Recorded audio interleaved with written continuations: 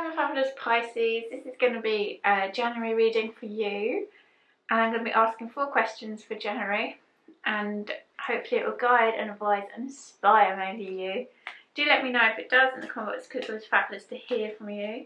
Right, let's get going. So the first question I'm going to ask is what to expect and focus on in this month for fabulous Pisces. What should I expect and focus on in this month? Now what seems to be want to be very sharp with this, I don't know why. Um, you have the Knave of Swords.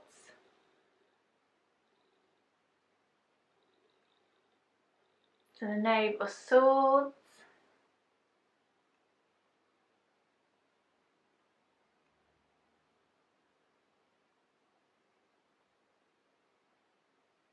For what to expect or focus on for this month. Fabulous Pisces. So the next question is what to embrace in this month. What should our fabulous and Pisces embrace in this month of January?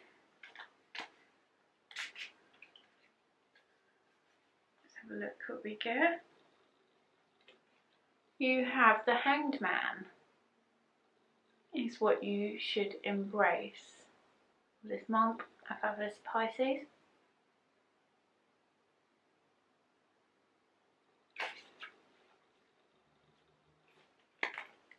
Haven't asked the question yet. Oh, there's still a hangman Okay.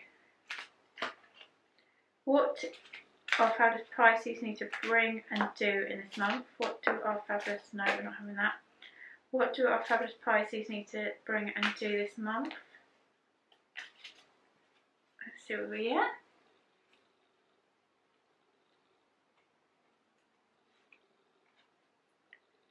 Ten of Pentacles.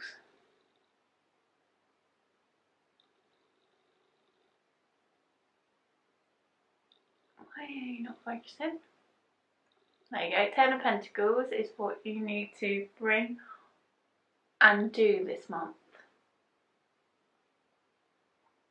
Ten of Pentacles.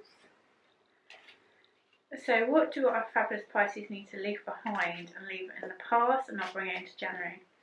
What do our fabulous Pisces need to leave behind and bring not to bring it into January and leave it in the past? Some reason it wants me to go all the way over here. The tower. This is what you need to leave in the past and not bring it into the future.